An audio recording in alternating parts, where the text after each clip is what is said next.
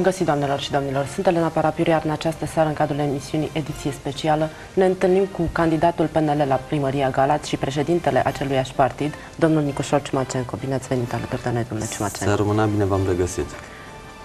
Ați trăit și în plan personal, dar și pe parte politică, o lovitură săptămâna trecută, la sfârșitul săptămânii trecute, prin pierderea domnului Doruleț Răsmeriță. În mod sigur a fost un moment greu pentru dumneavoastră. Da, a fost un moment foarte dificil pentru atât pentru mine cât și pentru Partidul Național Liberal. Doru era prietenul nostru, pentru mine a fost ca un frate. Am avut o relație de prietenie foarte puternică și este omul care în ultimii 8 ani a fost alături de mine și a crezut, a, crescut, a crezut foarte mult în mine, a crezut poate cel mai mult în proiectul nostru pentru Primăria Municipiului Galați. Dar, din păcate, boala nu a fost foarte blândă cu el și... A fost un luptător incredibil. A luptat cum cred că puțini oameni au avut puterea să lupte. Eu petreceam foarte mult timp cu el și ce pot să vă spun că suferința nu a fost una ușoară pentru el, dar a dus-o cu foarte multă demnitate, întrucât doar câțiva cei foarte, foarte apropiați au știut exact prin ceea ce a trecut. De aceea noi am, din respect pentru colegul nostru, pentru omul Doru, Doru Răzmeriță, am și oprit campania pe perioada funerarilor și am, am spus că așa este corect. Nu poți să ai liderul și prietenul pe masă și tu să faci campanie. Nu, eu n-aș fi putut să fac treaba asta și am luat hotărârea ca și președintele organizației municipale că pe perioada celor patru zile orice formă de campanie va fi oprită. Un gest de profundă reverență și Dumnezeu să-l odihnească. Dumnezeu să-l odihnească. Trecând la problemele zilei și la campania electorală, domnule Ciumacenco, adevărul este că toate lucrurile cu care se confruntă Galațiul și sunt lucruri negative în cea mai mare măsură, sunt identificate corect de către toți potențialii primari ai orașului nostru. Probabil că ceea ce face diferența între fiecare dintre dumneavoastră candidații este felul în care găsiți soluții, rezolvări la aceste probleme. Da, și abordarea acestor uh, probleme și mai mult de atât, cred că campania diferă foarte mult prin modul pe care fiecare din noi îl înțelege de a, de a face această campanie. Sunt colegi contracandidați care consideră că campania trebuie să fie una murdară, una în care să arunce cu tot felul de lucruri incorrecte față de ceilalți candidați. Eu sunt obișnuit și în 2012 a fost la fel. Uh, când absolut toți au uh, dat în mine, niciuna din informații nefiind una oficială, au fost doar uh, informații care aveau scopul de a manipula opinia publică, nimic nu a apărut în presă, ceea ce arată că sursele erau false și că acele probleme nu existau. Sunt convins că același lucru se va întâmpla și acum. Uh, Într-adevăr, rețelele de socializare se aglomerează cu tot felul de mesaje, unul mai ciudat decât da, altul. Eu sper că oamenii au înțelepciunea să înțeleagă că ceea ce se spune în campanie de cele mai multe ori sunt lucruri neadevărate și eu personal glumeam cu familia și cu prietenii, spuneam că voi afla din nou cât de ticălos sunt, cât de multe, cât de multe lucruri le au făcut și pe care nici eu nu le știam până acum. Dar probabil că asta e campania, așa înțeleg unii să-și facă campanii. Pe mine mă interesează să discut despre problemele Galațiului și să vedem cum putem să le rezolvăm. Cum putem să rezolvăm problema apei calde, domnule Ciumacenco? În da. continuare avem o problemă. Nu mai spune și de apa rece. Apa caldă, apa, la apa rece e mai ușor de rezolvat. Apa caldă și căldura reprezintă o problemă, o problemă care în ultimii patru ani s-a acutizat uh, foarte mult. Uh, Uh, noi am propus două variante și eu, sincer, cred că ambele variante uh, sunt necesare Galațiului. Uh, una pen, care se poate realiza într-un termen mai scurt și a doua care, ca efect secundar a procesului de bază, poate produce un beneficiu privind căldura și apa caldă. Și aici mă refer la a doua soluție, de exemplu, uh, este o uh, gestionarea, managementul deșeurilor. Știm foarte bine că legislația europeană ne va interzice în anii următori 2-3 ani, uh, gropile de gunoi și că nu vom mai putea folosi locuri speciale pentru a, a stoca uh, deșeurile menajere și atunci soluția este aceea de a face un incinerator prin care se ard deșeurile menajere și ca efect secundar producere prin cogenerare, uh, agent termic, apă caldă și electricitate. Uh, și eu cred că această investiție ar trebui să se realizeze cât mai repede. Ea este estimat undeva la 2 ani, 2 ani și jumătate, ceea ce n-am înțeles de ce în 2012 actuala conducerea primăriei nu a făcut acest lucru pentru că exista pe masă un astfel de proiect. Uh, cei de la USITAL fuseseră îngalați, uh, se parafaseră mare parte dintre acte. Uh, nu s-a întâmplat nimic, din păcate, și cred că ne aducem aminte cu toți cum în decembrie 2012 ambasadorul Uh, Suediei a făcut o declarație care nu ne face nouă cinste că niciodată nu va mai veni să investească în Galați și chiar și în România, pentru că ceea ce a întâlnit aici și lipsa de interes pentru, pentru gălățeni și pentru cetățenii orașului a fost un lucru pe care l-a uimit. Ca o paranteză, este normal să lăsăm proiecte viabile începute de administrația trecută doar pentru că nu coincidem uh, la culoarea politică? Nu, cred că, cred că au fost... Uh, n-am, n-am să înțeleg uh, motivul pentru care câteva proiecte importante pentru Galați au fost abandonate, deși erau, erau, erau mai mult decât bune pentru oraș. Și aici aș aminti problema cu incineratorul deșeuri, cu termocentrala lui Enel, cu, cu fabrica de tractoare, multe lucruri care au fost, erau în faze avansate de, de proiectare și pentru implementarea proiectelor și au fost abandonate. Pe de altă parte, tot ceea ce acum actuala, actualul edil se laudă că sunt proiecte realizate, sunt proiecte demarate în anii 2010-2011, e firesc să E firesc să prezinte aceste proiecte până la un punct. Cu o singură mențiune aș vrea să fac, faptul că el a tăiat panglica, îi conferă un care drept, multe dintre lucruri erau aproape finalizate. Ceea ce nu e corect este faptul că ar trebui măcar să amintească și nu pe Ciumacenco care s-a ocupat de, de implementarea acestor proiecte. Chiar nu, nu aș dori ca actualul primar să-mi pomenească într-un context pozitiv numele. Eu mă bucur că el mi pomenește doar într-un context negativ. Pentru dar, asta, domnul Marius Stan, bineînțeles, care avea propriul punct de vedere. Dar cred că ar trebui amintit faptul că acele proiecte au fost gândite, uh, puse în practică de către fostul Consiliu Local, de fost administrație, de fostul edil. Dar, repet, până la urmă, actualul edil are propria lui cale, are, propria lui, are propriul lui grad de înțelegere uh, și nu mi-aș dori să, să pomenească într-un context pozitiv actualul, actualul Edil. Eu, repet, sunt foarte bucuros că de fiecare dată când are ocazia mă critică neconstructiv, neadevărat de cele mai multe ori, dar un compliment venit din partea lui îmi face rău și nu bine. Și atunci e foarte bine să o țin așa ne întoarcem la problemele orașului și o problemă rămâne infrastructura din cartiere. Da. Aici avem într-adevăr un lucru nerezolvat de-a lungul mai multor generații de administrații Așa locale. Așa este și din păcate când uh, am pentru cei trei ani și 8 luni cât am fost uh, viceprimar, am uh, încercat din postura de viceprimar să-l conving pe fostul primar Dumitru Nicolae să-i explic că abordarea noastră este una parțial corectă și că ar trebui să avem cu tot o altă abordare. Eu văd lucrurile în felul următor. Am și în programul electoral faptul că Galațiu are un buget. El variază între 115 și 130-150 de milioane de euro de la an la an în funcție de mai mulți parametri. Uh, există acest buget mare pe care, uh, care cuprinde și bugetul de investiții, da? prin care poți să faci proiectele mari. În afară de bugetul propriu, există posibilitatea uh, atragerii de fonduri europene, care în fostul mandat au fost 140 de milioane de euro, în actualul mandat sub 10 milioane de euro. Depinde cât de mult și cât de bine reușești să te miști pe, acest, pe această plajă foarte largă a fondurilor, euro, fondurilor europene, poți în final să-ți dublezi bugetul dacă, dacă ai înțelepciune. Și eu propun următorul lucru. Uh, nu poți administrativ să faci acest lucru, să împarți orașul în, uh, pe cartiere și primării de cartiere. Noi, eu propun uh, realizarea unor sedii mici, cu infrastructura minimă necesară, în care oamenii pot face multe alte lucruri, de exemplu taxe, informații utile de la primărie, sesizări pentru primărie și inclusiv oamenii dintr-un cartier vor avea ocazia, ca separat de bugetul mare al orașului, să poată gândi și să propună proiecte legate strict de cartierul lor, în valoare de un milion de lei noi, adică 10 miliarde de lei vechi, separat de tot ceea ce gândește primăria.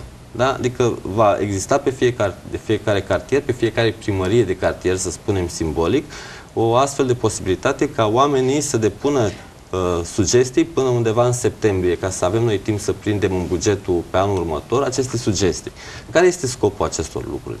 Uh, până acum, toate investițiile în infrastructura din cartiere s-a făcut cumva ne, nelegat de o, de o gândire uh, con, uh, aflată în continuitate. Și aș vrea să spun, am asfaltat o parcare, am mai făcut câteva locuri de parcare într-un cartier. Eu cred că lucrurile trebuie gândite complet diferit. Da? Avem 20 ceva de cartiere în municipiul Galați. Eu cred că ar trebui în fiecare an să luăm 4-5 cartiere din diverse zone ale Galațiului, intrăm în acele cartiere și luăm la refăcut complet infrastructură. Și aici mă refer la trotuare, asfaltări de străzi interioare în cartiere, asfaltări de parcări, crearea de noi parcări, toaletarea plopilor și a copacilor din cartier, astfel încât să nu mai avem problema cu puful, strângerea uh, câinilor comunitari, uh, îngrădirea spațiilor verzi cu gard, astfel încât să poți să... Oamenii să... și imaginează că, domnule, nu se apucă primăria să lucreze în cartierul meu pentru că nu ar fi vizibil. E cu totul altceva nu, dacă se face asfaltare pe Brăile sau pe, care s-au făcut pe în mod... E pe principiul ăla, pe afară vopsigardul, înăuntru leopardul.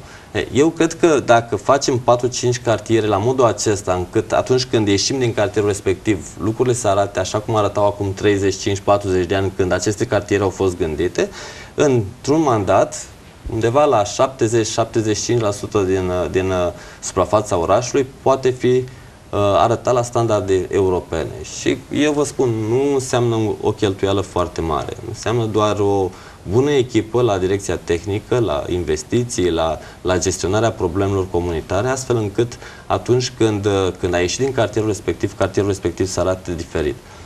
Am încercat să fac acest lucru când eram viceprimar, în schimb m-am lovit de o uh, barieră la nivelul chiar și a primarului, dar în special a funcționarilor care existau la momentul respectiv, cei, mă refer, cu funcții de conducere.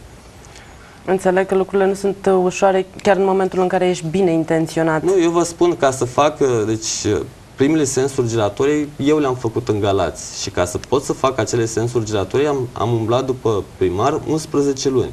Deci 11 luni mi-a luat, mi-a fost necesar să-l conving pe primarul în funcție că aceea este calea și că trebuie să facem acele sensuri giratorii. Și vreau să vă spun că în momentul în care l-am terminat pe primul, cel de la ieșirea spre Real, dacă știți, uh, da, când coborâți spre, spre Oșan, Oșan acum, uh, în ziua în care m-am dus să văd cum arată sensul giratoriu, în intersecție era oprită mașina Skoda primarului și uh, era foarte bucuros de ceea ce a reușit să facă. M-am venit râsul și am zis, primar, dar parcă erați împotrivă, nu spuneați că unde am văzut eu în Europa sensuri giratorii. Este un modul civilizat și noi nu trebuie să inventăm apa caldă sau apa rece. Acest lucru, apeductele au fost inventate de romani acum 2000 și un pic de ani. Da? Noi trebuie doar să vedem ceea ce este firesc, ceea cum se face o sistematizare a infrastructurii într-un mod profesionist în Europa și trebuie doar să ne inspirăm din ceea ce fac ceilalți care au experiență și să facem și noi să aplicăm aceleași lucruri în Galați.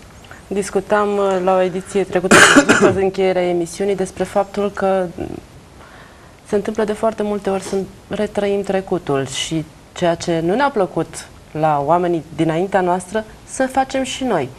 Nu vă temeți că ați putea ajunge în zona aceea de inerție pe care o putem sesiza la ultimul mandat al lui uh, Dumitru Nicolae?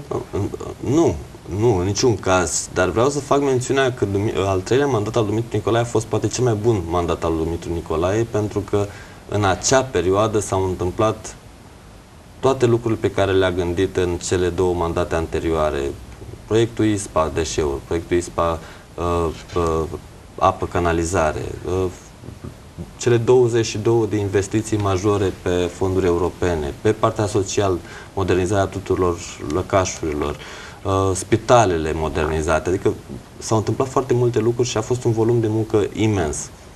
Uh, a fost și motivul pentru care la un moment dat a avut probleme de muncă și uh, probleme de sănătate și ulterior a trebuit uh, partea cu supervizarea să, să cadă în uh, atribuțiile mele. Uh, nu mi este frică de o anchilozare în, în într-un sistem similar cu ceea ce a fost în trecut, pentru că am experiența necesară, am lucrat cu acei oameni. Uh, bun, echipa de conducere a fost schimbată de actualul edil, uh, știu exact ceea ce am uh, de făcut, știu exact unul din primele lucruri pe care le voi face este modificarea organigramei în primă fază într-un sens uh, care ține normalitate. În loc să avem mai puține funcții de conducere, acum avem mai multe funcții de conducere decât au fost în anii precedenți și eu o să fac în, poate în primele două ședințe, după cea de constituire eventual, o modificare a organigramei cu reducere la jumătate a funcțiilor de conducere din primărie. Sunt mai mulți șefi decât angajați, ceea ce este anormal. Uh, în România se poate. Nu există eficiența muncii în astfel de situații. Până avem la ora actuală, în care toată lumea se salută cu da, bună ziua, domnule director. servicii, birouri, șef de serviciu, șef de birou, șef de două birouri, șef de trei birouri, șef de, de direcție. Adică e anormal ceea ce se întâmplă acum și sunt, repet, se pot face și economii la buget.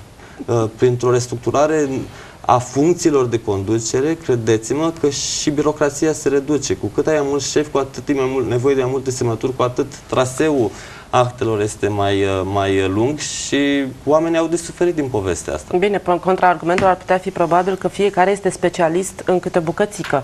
Sunt atât de specialiști cei care i-a pus actualul edil pe funcție de conducere, eu vă spun un singur lucru. Și puteți să întrebați, nici la ora actuală, după trei ani de când s-a votat organigrama, nu s-a completat statul de funcție. Oamenii ăia sunt șefi, oamenii ăia lucrează toți și simpli angajați în primărie, dar n-au statul de funcție. Adică, teoretic, ei nu pot fi trași la răspundere pentru ceea ce fac sau nu fac, pentru că, conform ceea, ceea ce se întâmplă, ei n-au nimic de făcut. Pentru că nimeni nu, le-a, nu a trecut prin Consiliul Local un stat de funcție care spune exact fiecare ce are de făcut. Ne întoarcem la Galați tot ne întoarcem, dar avem destule probleme la Galați la care să revenim. Câini. Avem în continuare 16.000 de câini undeva. Da, e un lucru...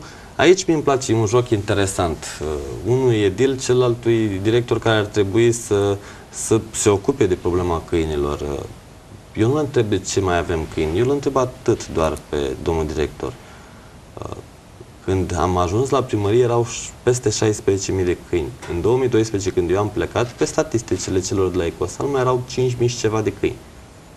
Cum, ce s-a întâmplat că după aproape 4 ani avem mai mulți câini decât aveam în 2008?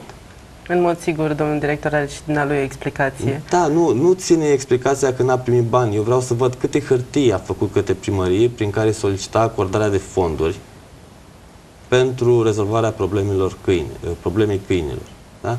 Problema câinilor se poate rezolva. Eu mi-am luat ang uh, angajamentul prin programul... Evident se poate rezolva. Alte orașe deja au depășit de mult această problemă. Noastră, eu repet, dacă actuala administrație continua ceea ce se începuse în 2009, vă spun că astăzi problema era rezolvată. Trebuia doar să se continue. Eu am fost șocat să văd cât de mulți câini comunitari sunt la ora actuală în oraș. Dar Cred că niciodată n-au fost atât de mulți ca acum. Problema nu este simplă, dar nu este nerezolvat. Și eu am, noi venim cu câteva propuneri foarte clare. Sterilizarea tuturor câinilor comunitari, indiferent că sunt pe stradă sau sunt la, uh, în grija celor de la curți sau oameni care au în casă câini comunitari, pentru că, cu excepția celor cu pedigree, normal, uh, Uh, ciparea lor pentru a avea o evidență foarte clară, respectarea legii, cei care sunt agresivi, cei care sunt bolnavi, da? Uh, trebuie să eutanasiați, iar dacă sunt asociații, de exemplu, sunt blocuri care doresc să, să rezolve, să aibă un câine pe raza blocului respectiv, ok, le, au voie să facă acest lucru în baza unui angajament semnat că Uh, răspund de acel câine într-un spațiu amenajat, cu uh, curățenie, întreținut, hrănit câinele respectiv, cine nu respectă acest lucru va fi beneficiar unei amenzi foarte drastice, pentru că dacă ne asumăm, trebuie să ne asumăm. Da? Iar eu vă spun că cu, cu 20 de echipe de, uh, de la ecarisaj poți rezolva această problemă în 6 luni.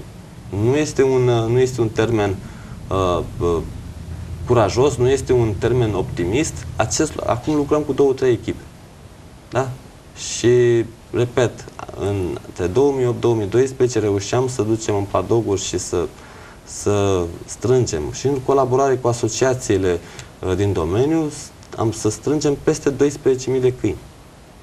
Suntem un oraș aflat în impas și în ceea ce privește locurile de muncă, domnule Ciumacenco. Și aici majoritatea oamenilor privesc cu atâta îngrijorare lucrul acesta, se gândesc, bun, copilul meu nu-și va găsi de lucru, va trebui să plece, dar nici eu nu pot să mai trăiesc aici, să-mi duc zilele. Rând pe rând emigrăm și din oraș și cine știe, poate și din România.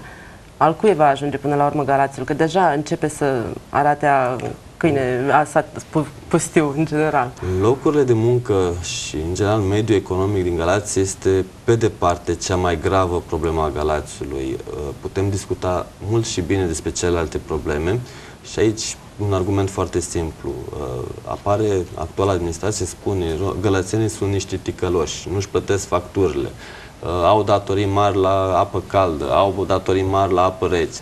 Ok, de ce suntem în situația asta? Există probabil un procent de oameni care sunt rău platnici prin definiție, dar cei mai mulți, într-un procent covârșitor, sunt oameni care nu reușesc să-și drămuiască veniturile mici pe care le au deja, salariile fiind foarte mici în Galați, pentru a plăti aceste facturi. Dacă mediul de afaceri ar funcționa, dacă ar fi locuri de muncă, n-am mai avea niciuna din celelalte probleme. Și atunci am, am eliminat niște probleme false, că nu se plătesc facturile. Uh, eu nu sunt adeptul că trebuie să vină guvernul să mărească salariile, pentru că nu este o creștere sănătoasă. Creșterea sănătoasă este foarte simplă realizează în Galați o competiție reală a forței de muncă, creează locuri de muncă, astfel încât șomajul să scadă de la aproape 10% cât este acum, până undeva spre 2-3%, și o să vedeți atunci cum crește salariile, pentru că orice angajator va dori să aibă un om bun, va trebui să-l plătească suficient de bine pentru ca acel om să vină la el. Da? Și atunci salariile vor crește într-un mod natural. Bun, primăria ca și uh, unitate administrativ-teritorială nu poate realiza locuri de muncă. Să ne ferească Dumnezeu să realizeze primăria locuri de muncă, că asta înseamnă birocrație, asta înseamnă bani de la bugetul local cheltuiți, pentru că asta înseamnă să angajeze la societățile din subordinea Consiliului Local și de aia suntem, din motivul ăsta suntem unde suntem acum cu sute de angajați la fiecare societate din subordinea Consiliului Local. Nu este o, o creștere economică sănătoasă și nu există un uh, o creștere a numărului de uh, angajați sănătos. Primăria trebuie să facă, în schimb, lucruri foarte simple. Să ajute mediul de afaceri și eu aici propun ca doi din consilierii primarului să provină din asociațiile de profil a patronatelor întreprinderilor mici și mijlocii, pentru a avea în permanență un contact cu ceea ce înseamnă mediul de afaceri. Eu cred că trebuie făcut un consiliu al oamenilor de afaceri care să funcționeze în municipiul Galați și odată la o lună, la odată la două luni să ne întâlnim pentru a vedea exact problemele care se confruntă aceste, aceste firme în Galați. Ar trebui să creăm mecanismele pentru o competiție reală în interiorul Galațiului. Doi la mână și foarte important, primăria poate ajuta și mai profund acest lucru, mediul de afaceri, simplu. Reduc birocrația din sistem, nu mai ține o firmă sau 2 ani și jumătate să obțină o autorizație, fă un lucru care ține de decență, separă uh, circuitul pentru, de la urbanism, de la instituția arhitectului șef, pentru persoane fizice, de cel pentru persoane juridice, astfel încât cele două activități complet diferite. Una e să vii tu persoană fizică să îți modernizezi apartamentul sau că uh, vrei să-ți faci o casă și alta e să stai la coadă pentru autorizație să faci o hală de producție, un sediu de firmă pentru a demara o nouă investiție. Eu cred că separând cele două direcții foarte clar, o să se reducă foarte mult și, și timpul de așteptare. Doi la mână. Suntem printre ultimele uh, orașe din țară care nu avem un sistem informatizat la nivelul global al primăriei și în special pentru serviciul de urbanism. Eu cred că pentru a evita momentele delicate în uh, din care de obicei aceste momente delicate au loc atunci când există un contact între petent, între cetățeanul gălățean, fie el persoană fizică, fie el persoană juridică și funcționarul din primărie. Aici începe jocul cu lucrurile mai puțin corecte a ceea ce va urma să se întâmple în acel proces. Eu cred că oamenii au, trebuie să, uh, vor trebui să-și depună actele într-un în mediul online. Funcționarul primește actele, vede exact dacă sunt în regulă, nu sunt în regulă, cere tot în, pe e-mail completări. În 5-6 zile actele pot fi verificate. La momentul în care se eliberează certificatul de urbanism, omul se duce și duce originalele exact ca cele pe care le-a trimis în mediul online își ridică certificatul de urbanism, începe să-și ia avizele și tot ceea ce este în acordurile pentru autorizație, își face documentarea de put pus dacă e cazul, dacă nu, depune doar, uh, doar avizele, în final, dacă sunt în regulă, se duce și își, își ridică autorizația și depune actele în original. Deci eu cred că impactul, impactul între cetățean și uh, funcționarul din primărie trebuie să fie zero. Da? Eu cred că uh, e necesar pentru a reduce birocrația și alte acte mai puțin corecte, uh, va fi necesar ca tot ce înseamnă relații cu publicul să existe camere pentru a, a avea și primarul o imagine corectă a ceea ce se întâmplă la oamenii care lucrează cu publicul și a urmări până la urmă și, și uh, mod, uh, uh, modul de comportament a acelui funcționar. Pentru că eu repet, uh, când ești funcționar public îți asumi acest lucru și ai datoria, indiferent ce probleme ai acasă, că toți avem și probleme în viața privată, atunci când vii în fața gălățeanului să ai puterea să zâmbești și să te porți așa cum este decent. Pentru că oamenii ăștia, cei mulți din Galați, prin taxele pe care le plătești și impozitele, ne asigură le, nouă, celor care suntem în administrație, veniturile. Și până la urmă ne, ne ajută pe noi să punem în practică proiectele pe care le avem pentru Galați. Eu cred că dacă facem toate aceste lucruri, dacă uh, facem un parteneriat solid, real, sincer, onest, cu societatea civilă, și aici intră și gălățenii, nu numai societatea civilă elitistă cu care ne-am obișnuit noi să vorbim, uh, mediul de afaceri, mediul academic și primăria municipiului Galați, plus toate instituțiile de concentrate care nu țin neapărat de primărie. Și există un parteneriat și reușim să lăsăm orgolii la o parte și vom face uh, echipă, eu vă spun, Galațiu are ocazia în 8-12 ani să ajungă în primele 5 orașe din Galați. Nu din este România. Defi- din România, scuze, din România.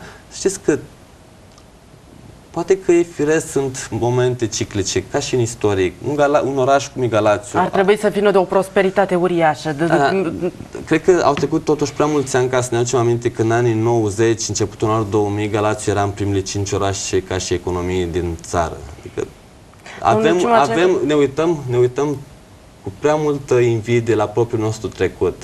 E momentul să începem să lucrăm, să-l repunem în fapte. Înț- Înțeleg ideea și sunt perfect de acord de ea, cu ea. Îmi doresc foarte mult să nu mai aud în jurul meu adresată mie sau eu adresându-mă altcuiva cu întrebarea dar tu ce mai vrei de la Galați, de ce nu pleci? Nu trebuie să ne Pentru că încăpățânăm. aici începe să fie dramatic când ne planificăm uh, circuitul copiilor noștri către diverse, diverse țări și localități europene, când și aici sunt atât de multe lucruri de făcut. Când aici este locul în care putem fi. Dacă e să fiu corect până la capăt, eu uh, sunt deja cu sabia deasupra capului privind acest lucru. Băiatul meu are 18 ani, Să la trăiască. anul termină liceu și după bacalaureat va pleca din Galați. Și mi-a spus că dacă nu se întâmplă ceva în Galați, el nu se mai întoarce. Și ca atare este singurul meu copil și mi-l doresc acasă lângă mine și împreună să facem lucrurile în Galați. Așadar, este o promisiune dublă. Vă mulțumesc foarte nu, mult nu pentru este prezent. o promisiune pentru că gălățenii s-au săturat de promisiuni. Eu nu vreau să fiu un primar providențial, eu vreau să fiu doar un primar care își face datoria și își- își respectă atribuțiile pe care le are. Vom detalia în continuare programul dumneavoastră și lucrurile pe care aveți de gând să le faceți la Galați. Domnule Ciumacenco, vă mulțumesc foarte mult pentru prezență în această seară alături de noi. Eu vă Iar mulțumesc. dumneavoastră, doamnelor și domnilor, vizionare plăcută în continuare. La revedere!